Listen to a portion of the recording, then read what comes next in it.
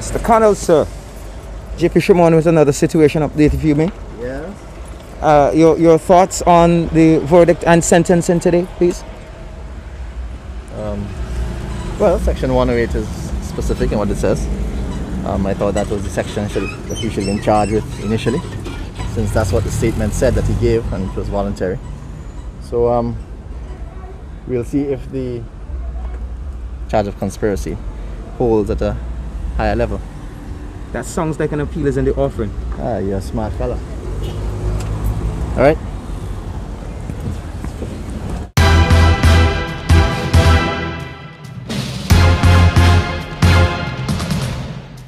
Louie Cupid, the 46 year old former jailer who was stationed at Her Majesty's prisons in Kingstown for much of his 12 year career, was found guilty by Chief Magistrate Rechanne Browne on Tuesday, August 31st.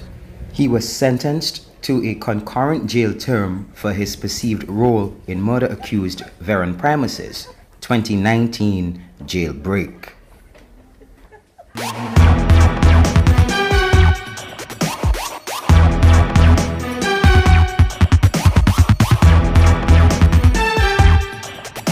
Connell explained part of the defense's strategy in this previously unreleased situation updates. So just a quick update, if you will, on the Louie Cupid case. Um, this morning there was a ruling on the submission you made, uh, what was it, last week? Could you just update us as to, to how that all came out? It was not upheld. She overruled the submission. Okay. So the matter continues. Okay, uh, was a reason given for, for No. that particular ruling? None. Right, and, and that's the judge's prerogative whether or not to give a reason to. Okay, correct. beautiful. So um, I, I remember um, uh, leading up to that no case to answer submission, you did intimate in court that you may just have to summons uh, uh, maybe the commissioner of police or, or, or the prime minister himself for statements made and, and reported in, in local media with regards to um, this, this ever important diary. Right. Uh, going forward, are, are you still of that mind? Yeah. Well, um, case continues. So I asked the magistrate if, on the motion of the court, they that she would she's minded to to um, have the both individuals come to court. She said no. Um, there was no reason given. So um, I can now uh, do it as defense counsel. Um, I know lately the prime minister suffered an injury, and um, we don't condone that kind of behavior. is very unfortunate. Um, that's very foolish for someone to do that. Um, I trust he's recovering. In the circumstances, I may retract my um, having to summons summons him. I have nothing to, to prove really. If he's injured, he's injured. Um, however, I may still call the commissioner and issue a summons for him, but I'll make a decision next week if that um, that diary we may take a different course. Uh, but I don't really want to say too much what exactly we're going to um, to do. Ultimately, the defense called Commissioner of Police Colin John, but his testimony did not sway Chief Magistrate Rechanne Browne. Okay, well, basically the, the Crown's case based their case on evidence from other prison officers who was on duty at the time, including the superintendent of prisons.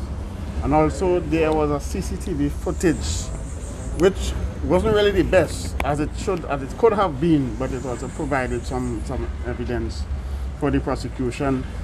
And to, to top it off, I would say, ad, ad, admission, confession, we may call it, that Mr. Cupid made to Sergeant Bian Duncan. The Crown, the, those are the, the, the elements of the of the evidence that the Crown depended on, basically. And the charges that Mr. Cupid were convicted of? Yes. They well they are, they are the conspiracy charge and the other one the other one that permitting the prisoner to escape. I- In my view, they were the proper charge to be laid. I mean the defense counsel may have a- another view. But we had enough evidence to make out those charges as you see the court has, has found in our favor. In, your submissions on sentencing, um, one of the things that I haven't heard you say during my few years covering the court, that you said you felt sorry for the defendant.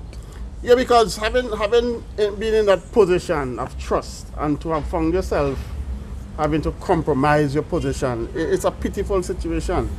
And I mean, as a human being, as an ex-police too, I mean, I had, I had some emotions for him. But that didn't prevent me from doing what I was supposed to do robustly. As you know, I'm, I, I prosecute in a very robust fashion. And I did so, even though I had that, that feeling for him. I still had to do what I got to do. And just tell us the sentences that were handed down by the court. Well, I don't have them on the top of my head. I know he was sentenced to one year, 11 months for one and one year plus for the other. But the sentences will be running concurrently, so he'll be doing the one year, 11 months, which is the one, the heavier one. And, and can you emphasize for, for our viewers the gravity of the charge in terms of the prisoner that uh, Mr. Cupid allowed to escape? Yeah, well, I think that that was that, the, that was the most aggravating part of it. Now, Veron Primus, as we know, is on remand here for murder. It's a capital offense. And he is wanted in the US also for murder and kidnapping. Now that in and of itself is, is a very serious situation. To have such a person in your custody and to be conspiring with him, because the court has found that he has conspired, to, to let him out has to be very serious. I mean, that sent, when, I remember when Veron was escaping the first occasion, that sent panic to the state of St. Lucie Everybody was on edge it's a very frightening situation because of the, the, the, man himself and the offences for which he is there for. Tell us a little bit about this note that Sergeant Duncan uh, recorded that the court, the, the Crown relied heavily on. Well, based on the evidence that came out from Sergeant Duncan, he was part of the team of investigators, and we know Sergeant Duncan. I always give him props because, in my view, he is the best investigating the police force. That is my personal view, and I'm entitled to that. And he has this way that people always want to speak to him. I know a couple of people in the past who are like that. Ex-Inspector Caesar, ex-ASP James, you know, they have that charisma that people always want to talk, to, suspects always want to talk to them. And it, it, the evidence came out that the accused just approached him and said, Officer Duncan, I want to tell you the truth. And he just went ahead and spoke freely to Duncan. And Duncan, of course, would have cautioned him and, and made a record that is telling what did he say in that in that scene? In that, Can you remember? I couldn't. I can't remember it everything now, but parts of it he said that okay, I'm telling the truth. He said I did assist Veron, but I didn't give him a positive answer. The night of the and questioned when he said Veron was ready to move, he said, well, you could go, but you're on your own. And then he asked, Veron asked him if he could go through certain areas. He said, no, you can't go through there because officers are there. So, but you could go, you're on your own. Those are just parts of it, but there are more detailed things that he would have said in that note. Now come on, you're in a position of trust. A man is telling you, you have a duty to make sure this man doesn't escape. He's telling you he's going and you're telling him, okay, you're on your own.